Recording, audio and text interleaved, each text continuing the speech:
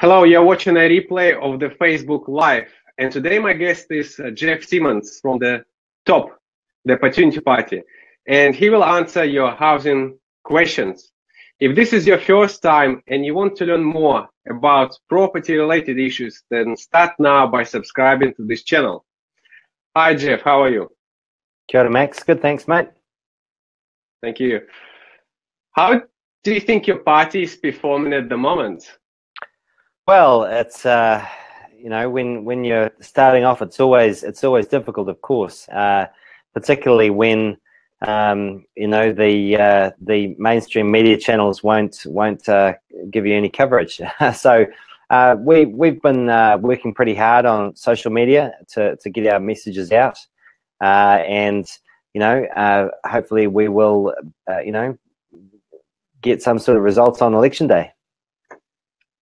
No worries. Well, what do you think is your current top housing policy? Keep in mind that most of our viewers are concerned about the housing issues, and uh, there is no doubt that this is one of the most biggest problems in New Zealand nowadays. So, what, what do you think is your biggest housing policy? Yeah, well, for sure, our, our biggest housing policy is our tax reform uh, proposal. So, what we're proposing is to uh, tax housing just the same, uh, to, you know, as all other assets, to make sure that all assets are paying their their fair share of tax. So, uh, at the moment, our situation in New, in New Zealand is that we have some of the lowest um, taxes on housing in the world. Uh, we invest more money into housing than any other country in the world in terms of uh, you know that that's really speculative investment rather than productive investment. And we have some of the highest house prices in the world.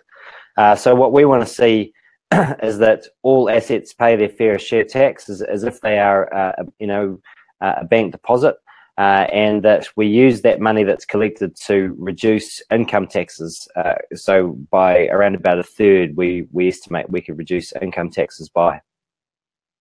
I see. Um, I recently had a look at the property market in Australia, and they've got all sorts of taxes: land tax, capital gain tax. Uh, they ban foreigners, uh, and they charge stamp duties. Why do you think your policy will make a difference? Yeah, and so, still, uh, by the way, and they still struggle with the high property prices. It's They even do. higher than in Auckland. Absolutely, they do. Uh, and I mean, there's a few issues here. I mean, capital gains taxes haven't really worked. Um, and in fact, whenever you look around the world, um, you know, the, the sorts of taxes that have exemptions don't tend to work.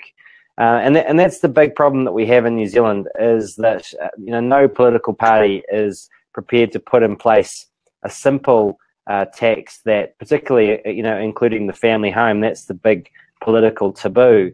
Um, whereas actually, uh, you know, the only way that you're really going to have an impact with these things, uh, any sort of taxation changes, is if they are comprehensive. Uh, Kiwis need to understand that as soon as you introduce exemptions to try and tax someone else rather than, uh, you know, the the so-called you know average household, then uh, inevitably people that can afford um, accountants will find a way around those exemptions, uh, and they will, uh, you know, they can afford to, to to pay for an accountant to arrange their affairs so that they can make use of those loopholes. So, you know, um, we we really need a, a tax system that is simple and doesn't have uh, exemptions within it. Um, but the only countries that do what we're proposing uh, are places like you know Switzerland, uh, Belgium, the Netherlands, uh, to a lesser degree Germany, uh, and most of these countries uh, haven't had any problem with housing affordability. Talking about simplicity, I was trying to get some examples on your website how exactly it will affect the average Kiwi. Are you able to give a quick example? What are you trying to do, say, on a person on an average income and that has one or two properties, if it's possible? Yeah, yeah, sure. I mean, um, I think the the first thing to um, to clarify is that this, uh, you know, a change of this magnitude needs to be in, introduced slowly over time, um, because otherwise, you know, we would uh, we would, you know, pretty much destroy the housing market overnight. Um, so we, we want to make sure that we don't tip New Zealand into some sort of economic uh, debt crisis, uh, and so we we will we would slowly introduce this tax, uh, and we think it would take about ten to fifteen years to to fully implement, um, so that we can hold um, house prices stable over over that length of time. Um, in terms of a, a, rough rule of thumb about how this would impact when when fully uh, implemented. Um, again, you know, um, we have to see what kind of tax would, um, you know, how much tax would actually uh, be needed to kill off any capital gain um, in in the housing sector. Um, but our rough rule of thumb uh, is that you know a, a tax of a, around about between one and one point five percent of equity uh, each and every year uh, would would put housing on a similar playing field to say a bank deposit or, or shares in terms of the amount of tax that they would pay uh, and that would for a typical household cut their income tax by around about a third so uh, for most people that would equate to say an, an 8% pay rise um, and that would make, uh, according to our calculations, 80% of people better off. Um, in terms of investment properties, this tax is a, a, a deemed minimum rate of return. So if your uh, assets are already um, paying a certain declared amount of tax, um, as you know, as a bank deposit and shares are, um, then there's there's no extra tax to pay. So, in terms of investment properties, it really depends what taxable yield those investments are already getting. If they are, if they're already getting a minimum yield above, uh, the, you know, the deemed rate of return, then there would be no more tax to pay. If if they were getting a uh, a return below that rate, then there would be more tax. So it sounds like there is a lot of unknown in what we're trying to propose. Because, like, how am I supposed to decide if I've got, say, five hundred thousand dollars in equity? how how much am I going to pay?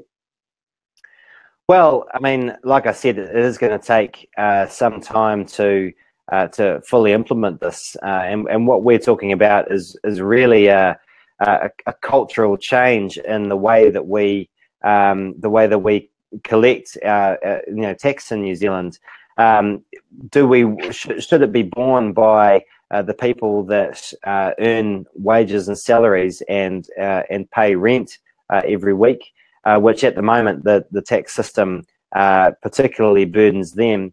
Uh, whereas, uh, or, or, should more of the tax burden be borne by the by the owners of assets? Should we make sure mm-hmm. that the owners of assets are, are, are, paying their fair share? So I think there's a there's a broader um, you know principle to to discuss uh, on this.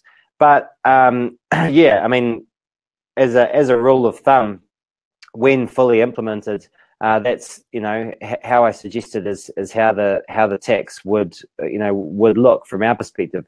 But you've also got to bear in mind under an MMP environment, you know, we're we're um, never going to be uh, you know not intending to be a, a you know a, a, major political party in the in the next parliament. You know, we're we're just starting out, so inevitably we would be in coalition or, or working with a larger establishment party, and they would uh, no doubt want to um, you know give things a tweak there. So there there are always going to be unknowns in an MMP environment. Have you noticed any of the parties um, stolen any of your policies in the last couple of months? Like, did you have any effect on other parties? Oh, for sure. I mean, I think we have changed the conversation around um, you know water pricing, polluter pays, um, we've we've changed the conversation around around uh, drug law reform and uh, and criminal justice for sure. And I think on the issue of taxation and uh, and assets, I mean, we have seen uh, the Labor Party uh, certainly adopt a lot of our rhetoric around it. Uh, of course, they are talking about um, exempting the the family home, but they do uh, they they are at least uh, seeing the problems that we have, um, you know, uh, from uh, a the fairness of the tax system and uh, you know that perspective, but also housing affordability, and and those those two key drivers are are also the drivers of, of our tax reform. I see. In hindsight, do you think your party should have offered a bit more carrots? Because like there is just about every party is offering something free and tax breaks and grants and you name it. Sure.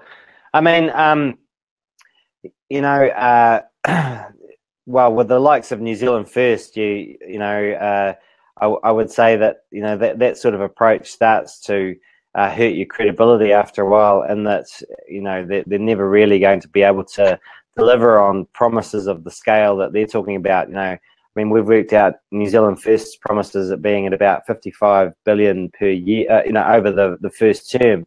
Um, so you know, clearly that's not realistic, and I think I think the New Zealand public sees sees that um, sees that it's not realistic. Uh, when it comes to um, you know the the major establishment parties, I mean, yes, they are very much focused on um, on tinkering at the edges, uh, and and we're not really interested in, in, in doing that. We we're looking for a much deeper systemic change. Um, and and that does require um, you know prodding some some sacred cows. So uh, if the New Zealand public aren't aren't ready for that sort of difficult conversation, then uh, so be it. All right, Let, us talk about your rental policy. Yeah, you are suggesting all mm-hmm. landlords have to comply with the warrant of fitness. Do you have any examples, like any any specific requirements that you will implement? Uh, well, the University of Otago has developed a required warrant of fitness. Um, not a required one, but but that that is along the lines of what we would uh, want to be looking at. Um, so you know, it's a it's a bit of a step above what the um, what the government currently uh, mandates in terms of um, you know up to date um, insulation requirements and uh, you know the requirement to have an energy energy efficient source of heating in the house. Um, so those you know, th those those sorts of uh, warrant of fitnesses are are out there uh, and could you know easily be be adapted for uh, regulation. Mm -hmm. And is it going to be if if you are part of the government how soon do you think um, you will enforce warrant of fitness, for example? Yeah, well, I mean, of course, the government has um, put in place um, requirements that they will start to enforce. Uh, I believe it is 2019 uh, that that they see uh, already coming into. Yeah, the insulation requirements that are coming into force. Um, what we would like to see is uh, a much greater investment made through the emissions trading scheme uh, in terms of grants. So the, the government's Warm Up New Zealand grant runs out in, um, you know, uh, it, it's uh, I think it's early uh, 2018 now, um, which you know really leaves landlords to do uh, their own, um, you know, improvements uh, which will still be needed. I mean, we still have some 600,000 houses in need of uh, insulation and, and upgrading in that respect. Um, but what we would like to do is reinvest the money from the emissions trading scheme into energy efficiency. So that would be um, making sure that homes are warm and dry, uh, providing energy efficient sources of heating. Uh, and we see that being extended to small businesses as well. Um, so Oh, it, it isn't just a matter of, uh, of, of mandating that that landlords uh, do this. We would want to see uh, some subsidies come into play to to, to help them achieve those uh, those higher standards. Uh, and yes, I think it would have to be phased in at, an achievable time.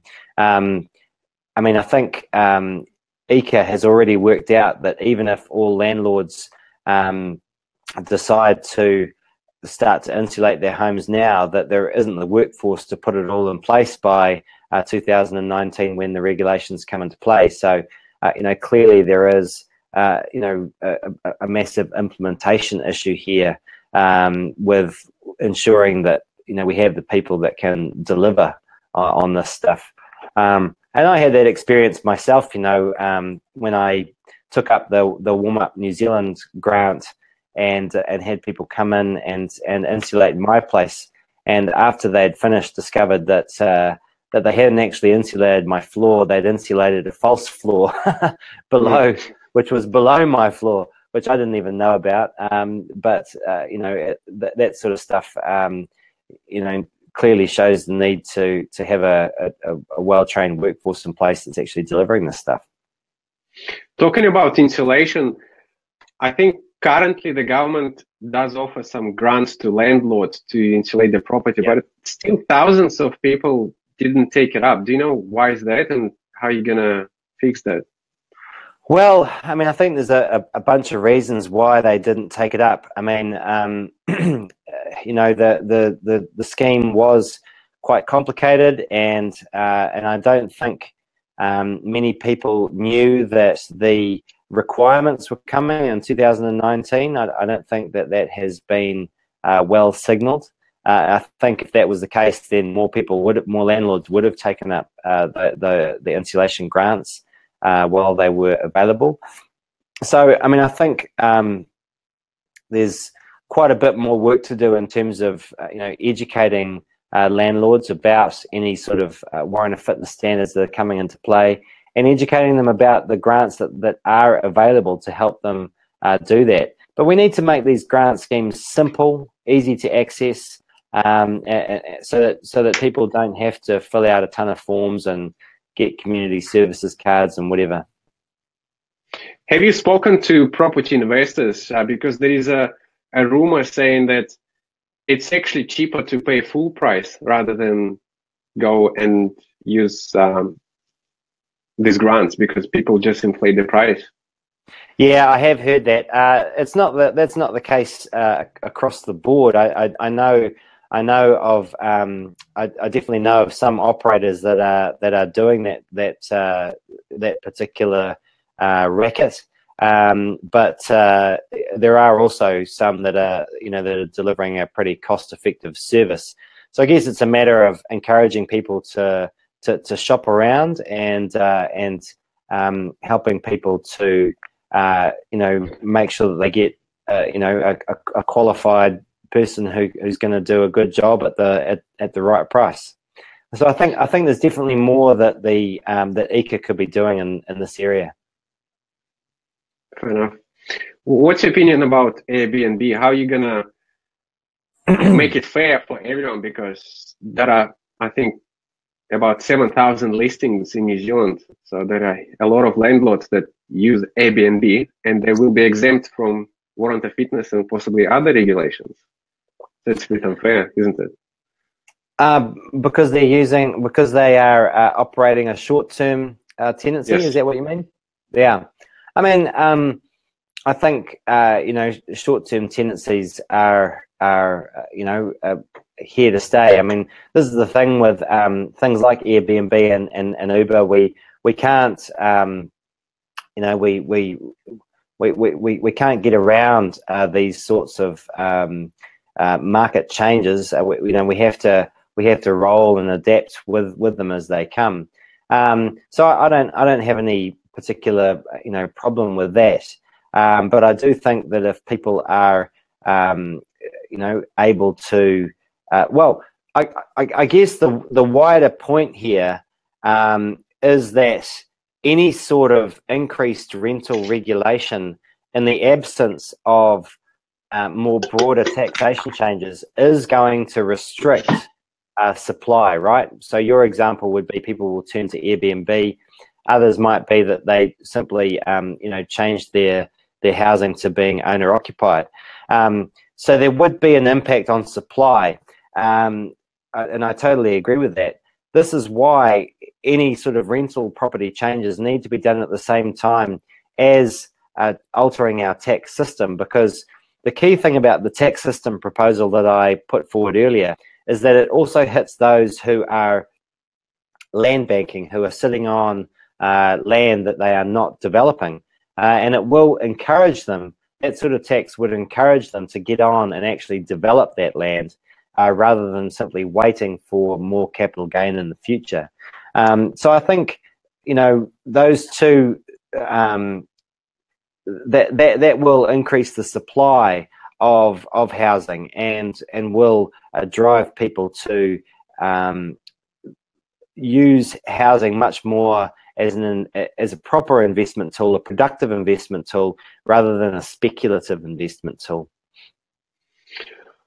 I have to disagree with you on one thing that you're saying that the government it's hard for the government to catch up with the technology and you, we have to use the current tools but at the same time you mentioned about your tax reform where you, where you and that's a good idea where you you have to apply a broad tax and with, with, with little exemptions so to make it fair. But with a rental policy, when you don't require homeowners to have warrant of fitness, you you actually making exemptions for certain number of people. It will be thousands of, of them. So it's like with vehicles. If you think about the car, every mm. car has to comply with warrant of fitness. So it's it's not the taxi drivers or Uber drivers. So why do you have exemptions on some home owners?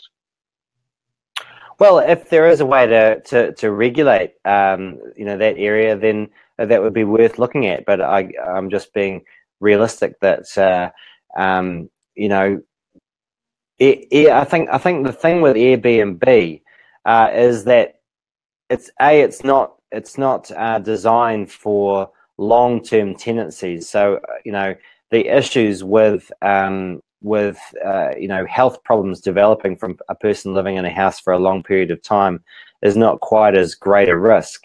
Um, but the other issue I'd say with Airbnb is that uh, you know the whole design of that market is uh, is, is is very much a uh, you know a, a, a, graduated one, so that people can you know rent rent a room right through to uh, you know renting an an entire house. Um, and I, you know, I'm I'm I'm just conscious that people uh, and and and people, you know, uh, are able to to you know get a sense of the place before before they rent it. Um, I, I just think that with um, you know with something like that, you any any rental warrant of fitness is is uh, you know presumably not likely to apply to someone who who rents out their spare room to someone you know a, a situation either. Um, so there are always going to be uh, exemptions, um, but if you do want to um, rent out an entire house uh, for for for the long term, I, I, I do think there should be some sort of minimum quality regulations around that.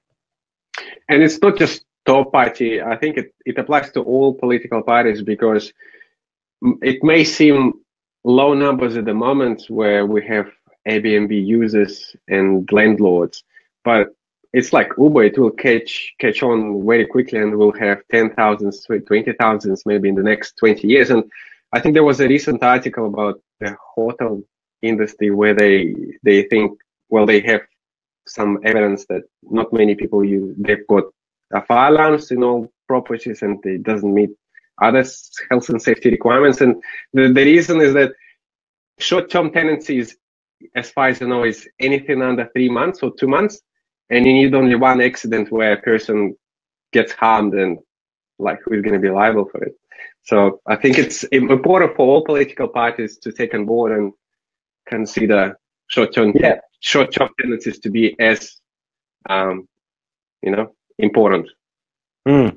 Well, you know, I think it, it is. It's it's definitely worth looking at. But I mean, the uh, you, you do you do kind of have to balance the uh, uh, you know the amount of uh, red tape compared to the uh, you know compared to the uh, length of the length of the stay. I mean, um, and and I, I, guess if you have a system which is you know which you know which basically puts the owner onus on the on, the landlord to provide certain um, you know provide certain things um, and we're not requiring a mandatory check on every single uh, house, then you know perhaps that's doable.